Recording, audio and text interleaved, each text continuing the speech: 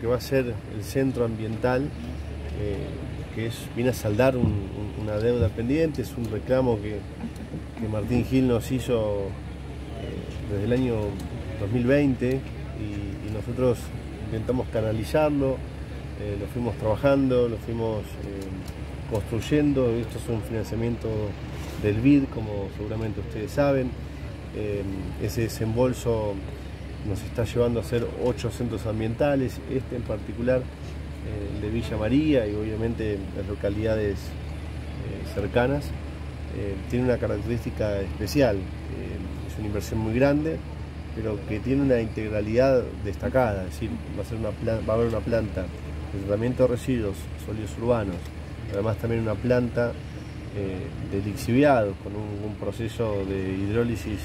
una técnica muy compleja, con un equipamiento que se trae de afuera, que eso se ajusta a requerimientos que tiene la provincia en materia ambiental. Además también una planta de neumáticos fuera de uso, además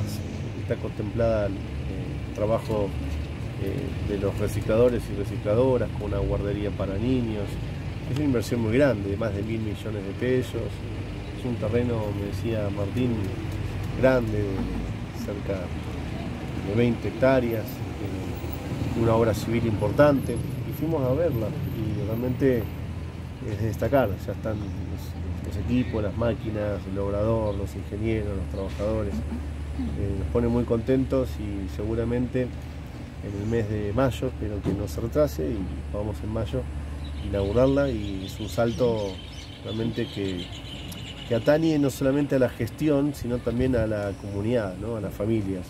Eh, porque el tratamiento de los residuos es sumamente importante y hoy en esta región estamos dando un cumplimiento a una agenda ambiental el intendente nos pidió, lo hablamos con, con Escoto también, con la provincia y la verdad que lo venimos trabajando muy bien y nos pone muy contentos eh, estar dando estos pasos.